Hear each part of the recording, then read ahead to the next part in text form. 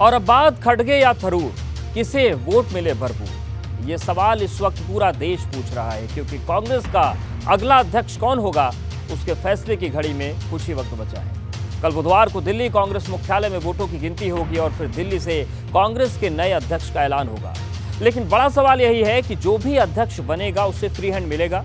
या फिर अध्यक्ष ना होते हुए भी कांग्रेस की कमान गांधी परिवार के इर्द गिर्द घूमती रहेगी?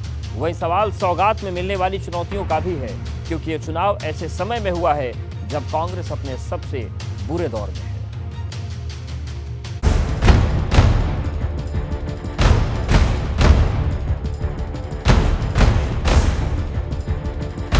किसको मिलेगी कांग्रेस अध्यक्ष पद की कमान? दिल्ली से होगा ऐलान। गांधी परिवार से मुक्ति, थरूर और मल्लिकार्जुन में से। किसको मिलेगी कुर्सी? कांग्रेस का अगला अध्यक्ष कौन होगा? इसकी तस्वीर बुधवार को साफ़ हो जाएगी कि थरूर और मल्लिकार्जुन खड़गे में से कांग्रेस का अगला अध्यक्ष कौन होगा? क्योंकि बुधवार को दिल्ली के कांग्रेस मुख्यालय में बैलेट बॉक्स में पड़े वोटों की गिनती होगी, जिसके बाद नए अध्यक्ष का ऐलान होगा।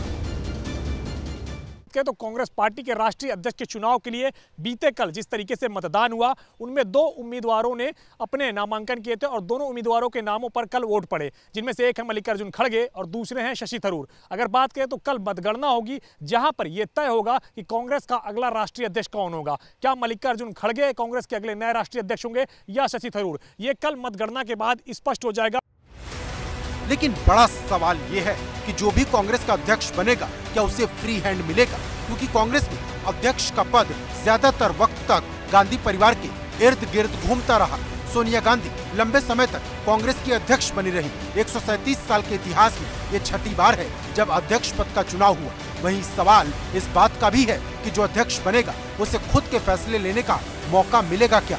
या फिर बिना अध्यक्ष बने ही सोनिया गांधी, राहुल गांधी और प्रियंका गांधी ही सुप्रीम बॉस होंगे क्योंकि सोमवार को जब वोट डाले गए, तब कांग्रेस अपने विरोधियों पर निशाना साध रही थी कि अध्यक्ष चुनने की जो लोकतांत्रिक प्रक्रिया कांग्रेस में है, वो किसी दूसरे दल में नहीं।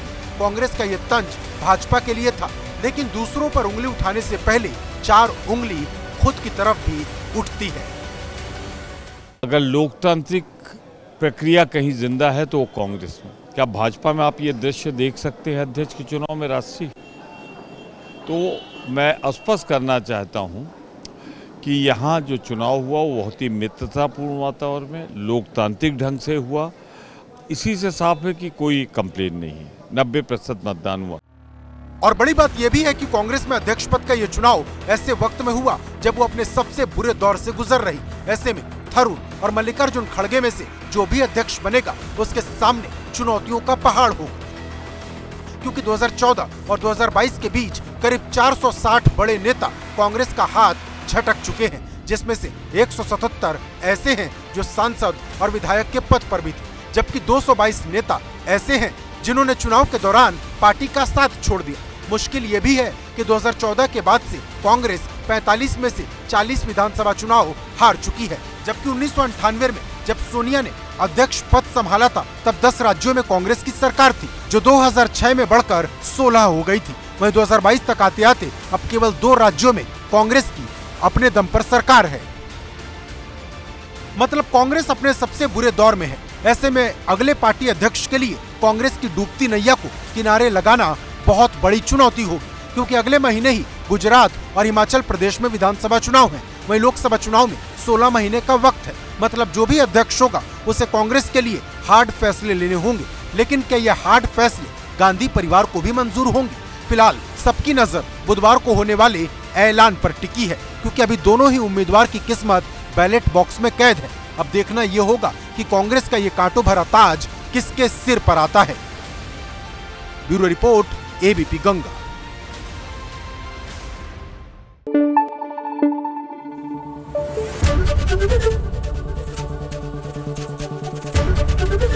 ABP news. आपको रखे आगे।